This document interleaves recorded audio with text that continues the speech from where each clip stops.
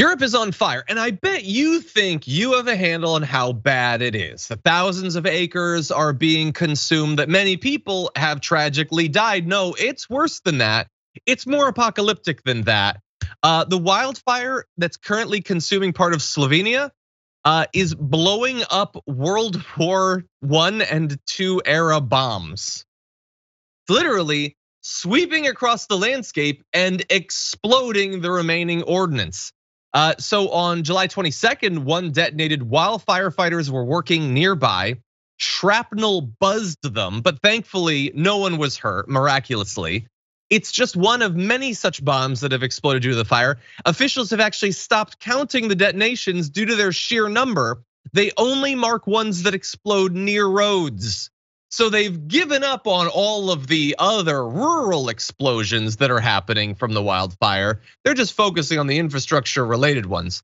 But as of right now, more than 1,000 firefighters and portions of the military of Slovenia are working to contain the blaze. It has consumed 5,000 acres of land. And this area where the explosions are happening, there were 12 battles during World War I in that area. More than 200,000 people died untold numbers of explosives were used, and thus it's impossible to say how many more remain. But it is insane to think how many people died in just that limited area was. And some might continue to die thanks to the fact that that uh, ordnance is being uh, blown up.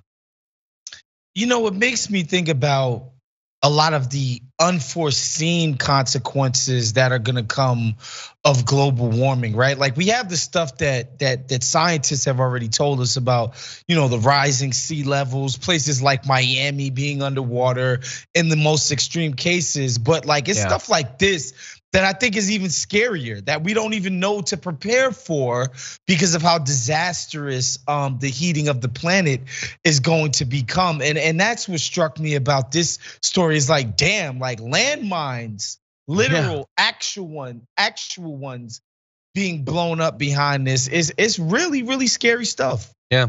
Yeah, and it's also it's a reminder. Like we're we're focusing on this, you know, because of the the wildfire and the climate change related aspect. But it's a reminder that there are major parts of the world where there are unexploded landmines that take people's lives all the time. It's something that needs to be prioritized, and there's a lot of good work being done, a lot of dangerous work to get rid of it. Um, so as a reminder, in this particular context, we're not talking about the problems with like Cambodia and DMZ, all that stuff. Um, the Royal Air Force and the US Army Air Force dropped 2.7 million tons of bombs on Europe during World War II alone. And uh, just in France, since World War II, 630 bomb disposal officers have died. So mm. these are people who are like the level of heroism and bravery is unimaginable. Literally hundreds have perished trying to save other people's lives by finding and removing these bombs and landmines and things like that. They think it's gonna take another hundred years to clear all of the munitions. It's almost been a hundred years since the war. That is the long-term impact of these sorts of conflicts. Um, but the situation with climate change isn't just the wildfires. We have uh, water and dryness. We're gonna talk about both of them. So uh, in the St. Louis area, there's been record rainfall. It is submerging cars and wrecking homes and leaving people stranded. In St. Louis specifically, they had more than eight inches of rain in just a short period of time. It is uh, surpassing by a nice clip the city's all time one day record of rain. That had been 6.85 inches.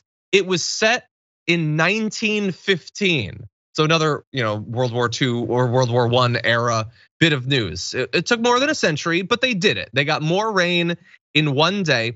This sort of intensity of rain is supposed to happen once every 500 years on average. But of course, we have climate change. And uh, let's pause for just one sec to get a little bit nerdy. Here is why you can get so much more rain thanks to climate change. Um, let's see. You've got the atmosphere being able to hold more moisture as temperatures climb, making it even more likely that significant records will be broken. More water vapor in the atmosphere means more moisture available to fall as rain, which leads to higher rainfall rates. So there's more water vapor there to be contained. There's more capacity to contain it, and thus you can get a lot more rainfall. But let's be clear that extra water vapor in the air also comes from somewhere, and it's the drying that happens in other parts of the world.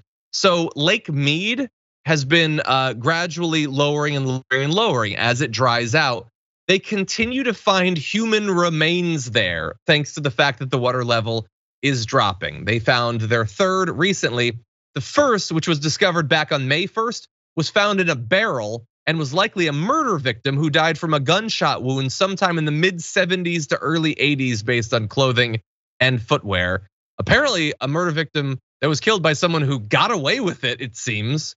They've also found previously sunken boats, including a World War II era landing craft last month. So it all comes back to the world wars at some point, was. But anyway, it is just, it seems indisputable this is a problem that should be dealt with, but we're still not doing anything about it, really.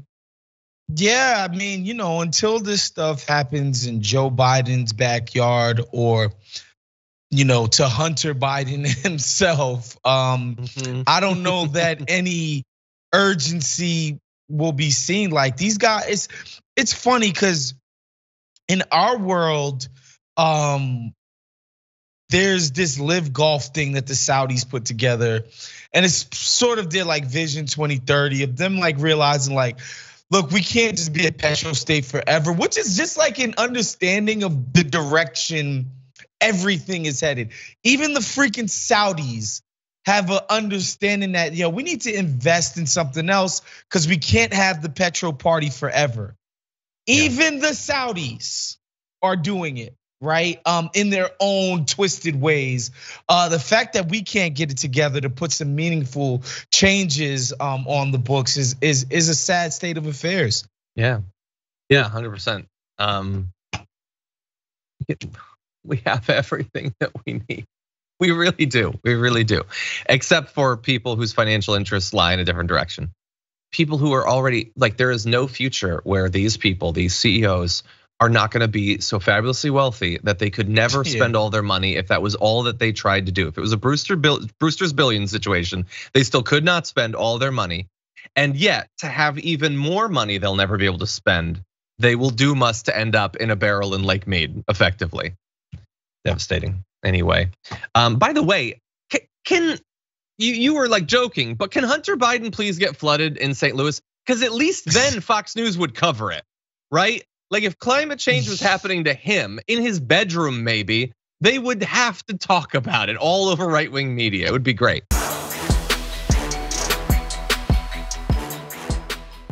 For more political news breakdowns, interviews, stories of activism, and me trying my hardest to care about the occasional big celebrity news story, subscribe to our YouTube channel at youtube.com slash the damage report. And you can ring the bell wherever it is so you don't miss anything.